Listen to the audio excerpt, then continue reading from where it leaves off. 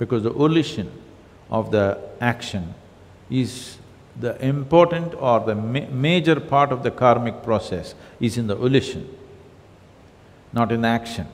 Similarly, major part of the karma is in the volition, not in the sound. But if the sounds were scientifically structured, as in the mantras and in Sanskrit language,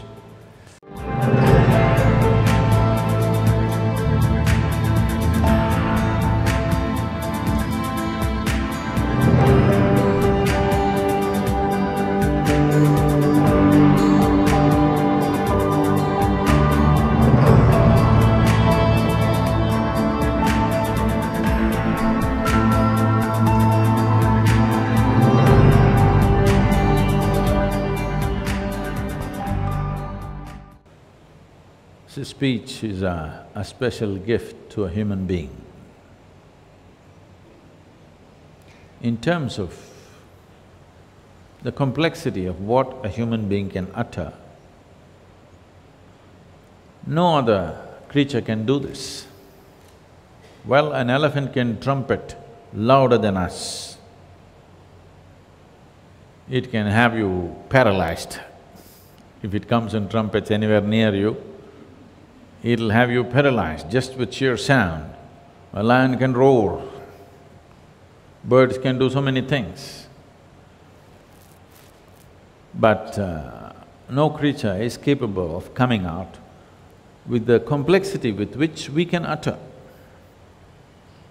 The languages were consciously created so that Simple utterance of the language will purify the system.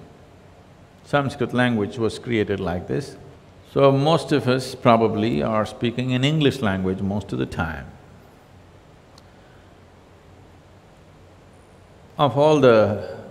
not necessarily of all the languages, compared to the Indian languages, the vernacular languages, or compared to Spanish or Latin or even Chinese or whatever, English language has the minimum range of sounds, very minimum. This is why, right from your birth, if you're speaking only English language, you find it so difficult to utter some other mantra or some other language, because you're using a very minimum range of expression. So the more minimalistic the range of sounds that you utter, happens, the less vakshuddhi you have. So now you have to fix it by a certain active awareness and volition. One is the sound, another is the intention of the sound. You can say, hey, out of great love, or you can say, hey, out of something else.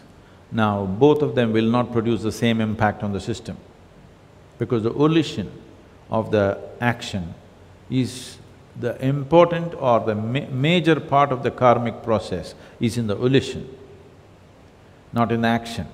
Similarly, major part of the karma is in the volition, not in the sound. But if the sounds were scientifically structured, as in the mantras and in Sanskrit language, then even without much, much awareness, if you utter, still you would benefit simply because of the nature of the arrangement of sounds.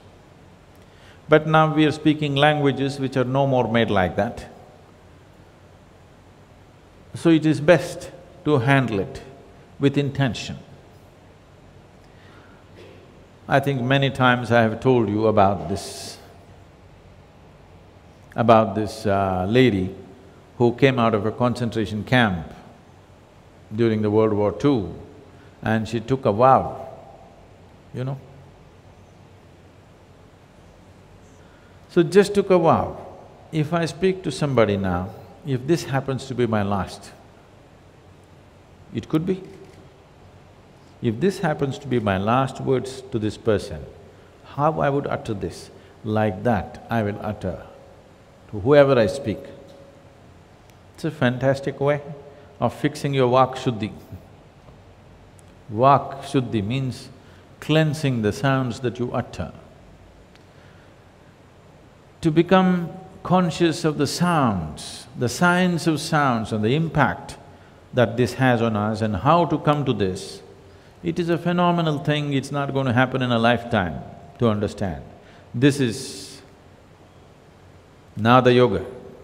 It takes a whole lot of things. So for that, to do Nada Yoga, you have a chant. If you keep it going whenever, I never consciously think about this, but if I sit, stand, you know, Shambho Shiva simply happens to me, not because I intend to utter it. Uh, it just… my breath just takes that form. It is not happening just because I sit in a program or I am doing something important or not important. You can just bring it into your life like that.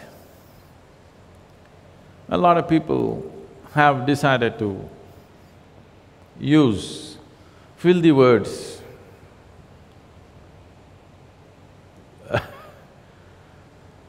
in their conversations or uh, these days uh, particularly I'm seeing uh, the youth in United States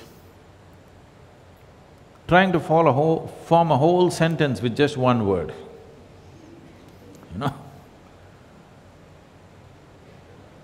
Uh, I see a whole lot of people in India also have picked these things up and uh, when they utter these words, people keep on saying, shit, shit. I keep reminding, please don't do it here, please don't do it here. So, this is one way of bringing the right kind of reverberation in the system.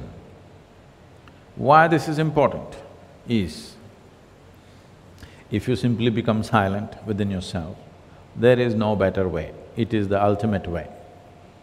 If you can just simply become still within yourself, that is the best way.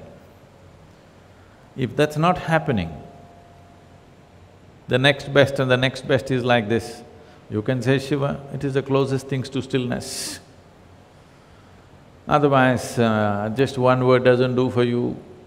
You can have a little more elaborate, you need a sing-song, you can do Brahmananda Swarupa, something, or whatever mantra you picked among those five, six that are there. Whatever you resonate with, you just do that.